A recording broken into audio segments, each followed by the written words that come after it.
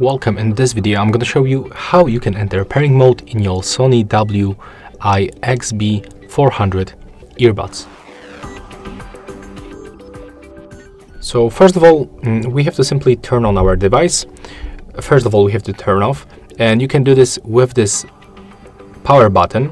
So we have to click and hold it until this indicator simply turns off, just like that.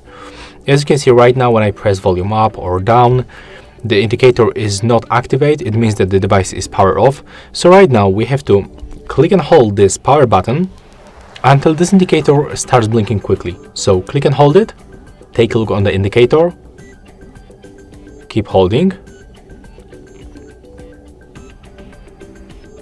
And right now we are also able to hear notification sound that the Bluetooth is in the pairing mode and as you can see right now it's blinking quickly.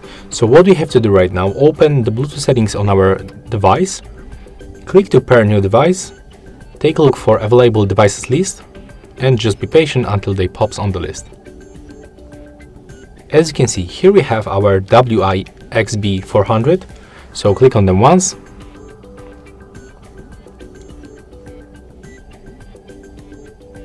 Accept pairing request